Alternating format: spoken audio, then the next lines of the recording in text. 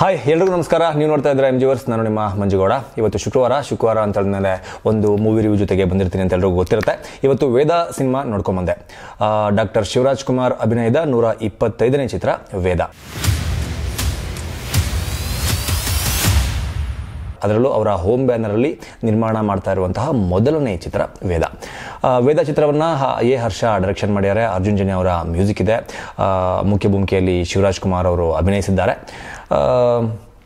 ವೇದ ಚಿತ್ರದ ಬಗ್ಗೆ ಹೇಳಬೇಕಂತ ಹೇಳಿದ್ರೆ ಒಂದು ಮೆಸೇಜ್ನ ತುಂಬ ಸ್ಟ್ರಾಂಗ್ ಆಗಿ ಕೊಟ್ಟಿದ್ದಾರೆ. ಈ ಚಿತ್ರದಲ್ಲಿ ಒಂದು ಕಾಮನ್ ಪ್ರಾಬ್ಲಮ್ ಅಂತಲೇ ಹೇಳ್ಬೋದು. ಪ್ರಸ್ತುತ ಜಗತ್ತಿನಲ್ಲಿ ಹೆಣ್ಮಕ್ಳು ಎದ್, ಎದುರಿಸ್ತಾ ಇರುವಂತಹ ಸಮಸ್ಯೆಯನ್ನು ಹೇಗೆ ಎದುರಿಸಿ ನಿಲ್ಲಬೇಕು ಅನ್ನೋ ಮೆಸೇಜ್ನ ತುಂಬ ಸ್ಟ್ರಾಂಗ್ ಆಗಿ ವೇದ ಚಿತ್ರದಲ್ಲಿ ಕೊಟ್ಟಿದ್ದಾರೆ ಅಂತಲೇ ಹೇಳಬೇಕು. ಆ್ಯಸ್ ಯೂಶುವಲ್ ಶಿವಣ್ಣ ಅವರ ಎನರ್ಜಿ ಈ ಚಿತ್ರದಲ್ಲೂ ಕೂಡ ಕಂಟಿನ್ಯೂ ಆಗಿದೆ. ಅವರ ಸ್ಟೈಲ್ ಅವರ ವಾಕಿಂಗ್ ಅವರ ಫೈಟ್ಸ್ ಅವರ action sequence each and everything Shivanna ಅದ್ಭುತವಾಗಿ ಅಭಿನಯಿಸಿದ್ದಾರೆ ಅಂತಲೇ ಹೇಳಬೇಕು. ಎಲ್ಲೂ ಕೂಡ ಅವರ ಎನರ್ಜಿಗೆ ಕಿಂಚಿತ್ತು ಧಕ್ಕೆ ಆಗಿದಂಗೆ ನಿರ್ದೇಶಕ ಹರ್ಷ ಅವರು ವೇದ ಚಿತ್ರದಲ್ಲಿ ನೋಡ್ಕೊಂಡಿದ್ದಾರೆ.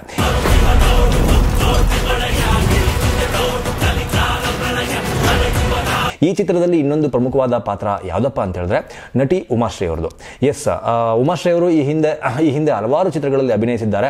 ಅಂದರೆ ನಾವು ಒಂದು ನೈಂಟೀಸಲ್ಲಿ ಏಯ್ಟೀಸಲ್ಲಿ ಈ ಕಡೆ, ಈ ಥರ ನೋಡ್ಕೊಂಡು ಹೋದಾಗ ಒಂದಷ್ಟು ಚಿತ್ರಗಳಲ್ಲಿ ಉಮಾಶ್ರೀ ಅವರು ಹಲವಾರು ಪಾತ್ರಗಳ ಮೂಲಕ ಕರ್ನಾಟಕ ಜನತೆಯ ಮನವನ್ನ ಗೆದ್ದಿದ್ರು.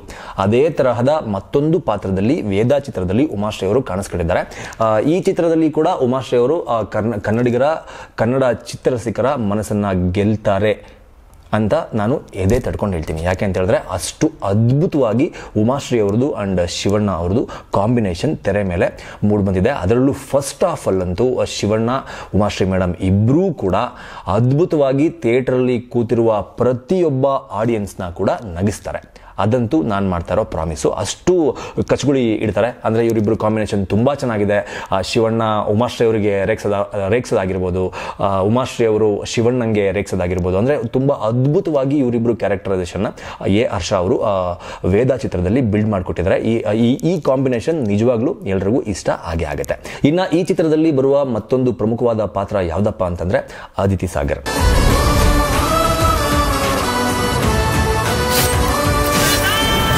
ಎಸ್ ಅರುಣ್ ಸಾಗರ್ ಅವರು ಏನಿವಾಗ ಬಿಗ್ ಬಾಸ್ನಲ್ಲಿ ಇದ್ದಾರೆ? ಅರುಣ್ ಸಾಗರ್ ಅವರ ಪುತ್ರಿ ಅದಿತಿ ಸಾಗರ್ ಈ ಚಿತ್ರದಲ್ಲಿ ಶಿವಣ್ಣ ಅವರ ಮಗಳ ಪಾತ್ರದಲ್ಲಿ ಅಭಿನಯಿಸಿದ್ದಾರೆ. ಅವರ ಅಭಿನಯ ಮಾತ್ರ ನೆಕ್ಸ್ಟ್ ಲೆವೆಲ್ ಲಿಟ್ರಲಿ ಹೇಳ್ತೀನಿ ನೆಕ್ಸ್ಟ್ ಲೆವೆಲ್ ಅಭಿನಯ ಅದಿತಿ ಸಾಗರ್ ಅವ್ರದ್ದು.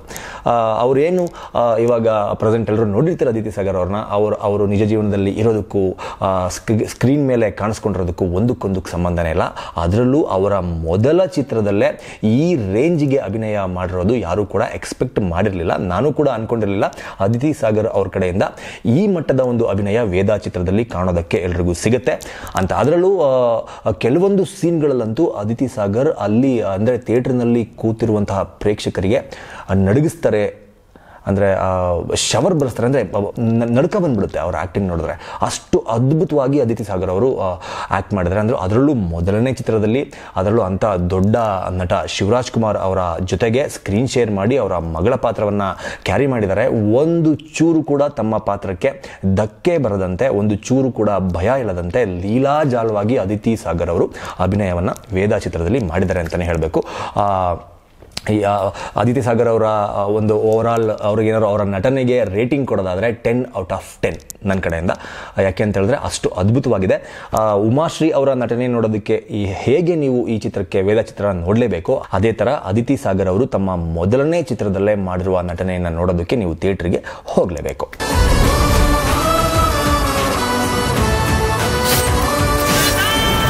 ಇನ್ನು ಈ ಚಿತ್ರದಲ್ಲಿ ಶಿವರಾಜ್ ಕುಮಾರ್ ಅವರಿಗೆ ನಾಯಕಿಯಾಗಿ ನಟಿಸಿರೋದು ಗಾನ್ವಿ ಲಕ್ಷ್ಮಣ್. ಅವರು ಕೂಡ ಯಾವ ರೇಂಜಿಗೆ ಅಭಿನಯ ಮಾಡಿದ್ದಾರೆ ಅಂತ ಹೇಳಿದ್ರೆ, ಸ್ಕ್ರೀನ್ ಮೇಲೆ ಅವ್ರನ್ನ ನೋಡಿದ್ರು ಕೂಡ ಅಷ್ಟೇ ಭಯ ಆಗುತ್ತೆ.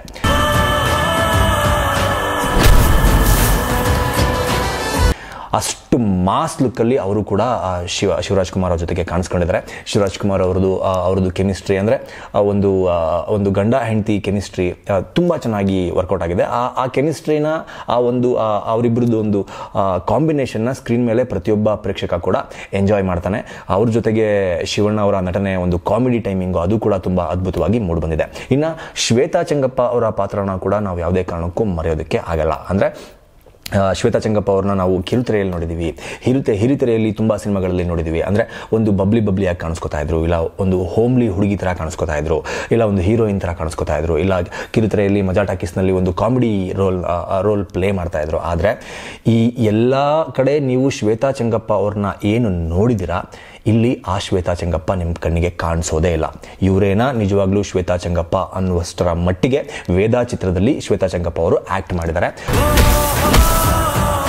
ಒಂದು ಅಂದರೆ ಒಂದು ಪ್ರಾಸ್ಟಿಟ್ಯೂಟ್ ರೋಲ್ನ ಇಲ್ಲಿ ಪ್ಲೇ ಮಾಡಿದ್ದಾರೆ ಶ್ವೇತಾ ಚಂಗಪ್ಪ ಆದರೆ ಈ ರೋಲ್ ಚಿತ್ರದಲ್ಲಿ ಅತ್ಯಂತ ಮುಖ್ಯವಾದ ಪಾತ್ರವನ್ನು ನಿರ್ವಹಿಸುತ್ತೆ ಅಂತ ಹೇಳಿದ್ರೆ ಯಾವುದೇ ಕಾರಣಕ್ಕೂ ತಪ್ಪಾಗಲ್ಲ. ಅಂದ್ರೆ ಶ್ವೇತಾ ಚಂಗಪ್ಪ ಅವರ ರೋಲ್ ಸಿನಿಮಾದಲ್ಲಿ ಯಾವ ರೀತಿ ಪ್ಲೇ ಆಗುತ್ತೆ, ಯಾವ ರೀತಿ ಸಿನಿಮಾಗೆ ಟ್ವಿಸ್ಟ್ ಕೊಡುತ್ತೆ ಅಂತ ಗೊತ್ತಾಗಬೇಕು ಅಂದರೆ ನೀವು ಸಿನಿಮಾ ನೋಡಲೇಬೇಕು. ಅದು ಕ್ಲೈಮ್ಯಾಕ್ಸ್ ಅಲ್ಲೇ ಗೊತ್ತಾಗೋದು ಶ್ವೇತಾ ಚಂಗಪ್ಪ ಅವರು. ರೋಲ್ ಯಾವ ಥರ ಕತೆಗೆ ಟ್ವಿಸ್ಟ್ ಕೊಡುತ್ತೆ ಅಂತ. ಇನ್ನು ಓವರ್ ಚಿತ್ರದಲ್ಲಿ ಯಾರೆಲ್ಲ ಅಭಿನಯಿಸಿದ್ದಾರೆ ಪ್ರತಿಯೊಬ್ಬರು ಕೂಡ ತನ್ನ ಪಾತ್ರಕ್ಕೆ ನ್ಯಾಯವನ್ನು ಒದಗಿಸಿದ್ದಾರೆ ಅಂತಲೇ ಹೇಳಬೇಕು. ಪ್ರತಿಯೊಬ್ಬರ ಪಾತ್ರ ಕೂಡ ಅಚ್ಚುಕಟ್ಟಾಗಿ ಮೂಡಿ ಬಂದಿದೆ ಇನ್ನು ಸಿನಿಮಾದ ಸಂಗೀತದ ಬಗ್ಗೆ ಮಾತಾಡೋದಾದರೆ ಎಲ್ಲ ಹಾಡುಗಳು ಕೂಡ ಅಷ್ಟೊಂದು ಅದ್ಭುತವಾಗಿಲ್ಲ. ಎಲ್ಲೋ ಒಂದು ಅಥವಾ ಎರಡು ಹಾಡುಗಳು ಕೇಳೋರಿಗೆ ಅಥವಾ ಅಭಿಮಾನಿಗಳಿಗೆ ಕುಣಿಯೋ ಕುಣಿಯೋ ಥರ, ಅಂದರೆ ಡ್ಯಾನ್ಸ್ ಮಾಡೋ ಥರ ಕ್ರೇಜ್ನ ಹುಟ್ಟು ಹಾಕುತ್ತೆ. ಅದು ಬಿಟ್ಟರೆ ಬ್ಯಾಕ್ಗ್ರೌಂಡ್ ಸ್ಕೋರ್ ಬಗ್ಗೆ ಮಾತಾಡೋ ಹಾಗೆ ಇಲ್ಲ. ಅರ್ಜುನ್ ಜನ್ಯ ಅವರು ಬ್ಯಾಕ್ಗ್ರೌಂಡ್ ಸ್ಕೋರ್ನ ಕೊಡೋದ್ರಲ್ಲಿ ಈ ಚಿತ್ರದಲ್ಲಿ ಕೂಡ ಮತ್ತೊಮ್ಮೆ ಗೆದ್ದಿದ್ದಾರೆ ಅಂತಲೇ ಹೇಳಬೇಕು. ಇನ್ನು ನಿರ್ದೇಶಕ ಎ ಹರ್ಷ. ಈ ಹಿಂದೆ ಹಲವಾರು ಸಿನಿಮಾಗಳನ್ನು ನಿರ್ದೇಶನ ಮಾಡಿದ್ದಾರೆ. ಶಿವರಾಜ್ ಕುಮಾರ್ ಅವ್ರಿಗೂ ಕೂಡ ಹಲವಾರು ಸಿನಿಮಾಗಳನ್ನು ಎ ಹರ್ಷ ನಿರ್ದೇಶನ ಮಾಡಿದ್ದಾರೆ. ಈ ಹಿಂದೆ ಪುನೀತ್ ರಾಜ್ಕುಮಾರ್ ಅವರು ಏನು ನಮ್ಮನ್ನು ಬಿಟ್ಟು ಹೋದರು, ಆ ಸಂದರ್ಭದಲ್ಲಿ ರಿಲೀಸ್ ಆದಂತಹ ಬಜರಂಗಿ ಟೂ ಚಿತ್ರ ಕೂಡ ಎ ಹರ್ಷ ಅವರ ನಿರ್ದೇಶನದಲ್ಲಿ ಮೂಡಿಬಂದಂತಹ ಚಿತ್ರ. ಆದರೆ ಆ ಚಿತ್ರ ಅಷ್ಟೊಂದು ಯಶಸ್ಸನ್ನು ಕಂಡಿರಲಿಲ್ಲ. ಅದ ಆದಮೇಲೆ ಸೇಮ್ ಕಾಂಬಿನೇಷನ್ನಲ್ಲಿ ಒಂದು ಒಂದೂವರೆ ವರ್ಷಗಳ ನಂತರ ವೇದಾ ಚಿತ್ರ ಬಂದಿದೆ. ಈ ಚಿತ್ರ ಆಲ್ಮೋಸ್ಟ್ ಗೆದ್ದಿದೆ ಅಂತಲೇ ಹೇಳಬೇಕು. ನಿಜವಾಗ್ಲೂ ಚಿತ್ರ ಅದ್ಭುತವಾಗಿ ಮೂಡಿಬಂದಿದೆ ನಿರ್ದೇಶಕ ಎ ಹರ್ಷ, ಅಲ್ಲಲ್ಲಿ ಎಲ್ಲೋ ಕೆಲವೊಂದು ಕಡೆ ಒಂಚೂರು ಲ್ಯಾಗ್ ಆಯಿತು, ಒಂಚೂರು ಕತೆ ಸ್ಲೋ ಆಯಿತು. ಇದು ಒಂದು ಸ್ವಲ್ಪ ಇದೇನೋ ಬೇಡ, ಬೇಡವಾಗಿತ್ತೇನೋ ಫಾಸ್ಟಾಗಿ ಹೋಗ್ತಾ ಇದ್ರು ಫಾಸ್ಟಾಗಿ ಹೋಗ್ತಾ ಇರೋ ಕತೆಗೆ ಇದ್ರ, ಇದರ ಅವಶ್ಯಕತೆ ಇರಲಿಲ್ವೇನೋ ಅಂತ ಅನ್ಸುತ್ತೆ ಬಿಟ್ಟರೆ ಓವರ್ ಆಲ್ ಸಿನಿಮಾವನ್ನು ನೋಡಿದಾಗ ಓವರ್ ಆಲ್ ಸಿನಿಮಾವನ್ನು ಹರ್ಷ ಹರ್ಷ ಅವರು ಕಟ್ಟಿಕೊಟ್ಟಂತಹ ರೀತಿ ನೋಡಿದಾಗ ನಿಜವಾಗ್ಲೂ ಸಿನಿಮಾ ತುಂಬ ಅದ್ಭುತವಾಗಿ ಮೂಡಿ ಬಂದಿದೆ. ಈ ಹಿಂದಿನ ಸಿನಿಮಾಗಳಿಗಿಂತ ನಿರ್ದೇಶನದಲ್ಲಿ ಎ ಹರ್ಷ ಈ ಚಿತ್ರದಲ್ಲಿ ತುಂಬ ಪಳಗಿದ್ದಾರೆ ಅಂತಲೇ ಹೇಳಬೇಕು. ಇನ್ನು ಕೊನೆಯದಾಗಿ ನಾನು ಗಮನಿಸಿರುವ ಹಾಗೆ ವೇದಾ ಚಿತ್ರಕ್ಕೆ ಫಸ್ಟ್ ಡೇ ಒಂದು ಒಳ್ಳೆ ರೆಸ್ಪಾನ್ಸ್ ಸಿಕ್ಕಿದೆ. ಒಂದು ninety to ninety five percent ಥಿಯೇಟರ್ಗಳು ಎಲ್ಲ ಕಡೆ ಫಿಲ್ ಆಗಿದೆ. ಇನ್ನು ಪಬ್ಲಿಕ್ ಟಾಕಿಂದ ಒಬ್ರು ಕ ಒಬ್ಬರು ಬಾಯಿಂದ ಒಬ್ಬರಿಗೆ ಸುದ್ದಿ ಹರಡ್ತಾ ಹೋದಂಗೆ ಈ ಚಿತ್ರ. ಎಲ್ಲ, ಈ ಚಿತ್ರ ಎಲ್ಲರಿಗೂ ಇಷ್ಟ ಆಗುತ್ತೆ. ಅಂಡ್ ದೆನ್ ಈ ಚಿತ್ರನ ಎಲ್ಲರೂ ನೋಡ್ತಾರೆ ಅನ್ನೋ ನಂಬಿಕೆ ನನಗಿದೆ. ಯಾಕೆ ಅಂತಂದರೆ, ಪ್ರಸ್ತುತ ಸೊಸೈಟಿನಲ್ಲಿ ಏನು ಒಂದಷ್ಟು ಹೆಣ್ಮಕ್ಳ ಮೇಲೆ ದೌರ್ಜನ್ಯ ನಡೀತಾ ಇದೆ. ಅದ್ರ ರಿಲೇಟೆಡ್ ಒಂದು ಮೆಸೇಜ್ ಕೊಟ್ಟಿದ್ದಾರೆ. ಆ ಮೆಸೇಜನ್ನ ತುಂಬ ಸ್ಟ್ರಾಂಗ್ ಆಗಿ ಕೊಟ್ಟಿದ್ದಾರೆ. ಕ್ಷಮಿಸಬೇಡ ಭಯ ಪಡಬೇಡ ಅನ್ನೋದು ಈ ಚಿತ್ರದಿಂದ ಒಂದು ಆಡಿಯನ್ಸ್ಗೆ ಕೊಟ್ಟಿರುವಂತಹ ಮೆಸೇಜು ಅಂದರೆ ಒಂದು ಕೆಲವಷ್ಟು ಜನ ಗಂಡು ಮಕ್ಕಳಿಂದ ಏನು ಹೆಣ್ಣುಮಕ್ಳ ಮೇಲೆ ದೌರ್ಜನ್ಯ ಆಗ್ತಾ ಇದೆ ರೇಪ್ಗಳಾಗ್ತಾ ಇದೆ, ಆ ಥರ ಪರಿಸ್ಥಿತಿಗಳಲ್ಲಿ ಹೆಣ್ಮಕ್ಳು ಹೇಗೆ ಧೈರ್ಯವಾಗಿರಬೇಕು, ಹೇಗೆ ಅದನ್ನು ಎದುರಿಸಿ ನಿಲ್ಲಬೇಕು ಹೆಣ್ಣು ಅಂದರೆ ಏನು? ಈಗ ಒಬ್ಬ ಗಂಡು ಗಂಡಸಾಗಿ ಮೆರಿತಾನೆ ಅಂದರೆ ಅದಕ್ಕೂ ಕೂಡ ಹೆಣ್ಣೇ ಕಾರಣ.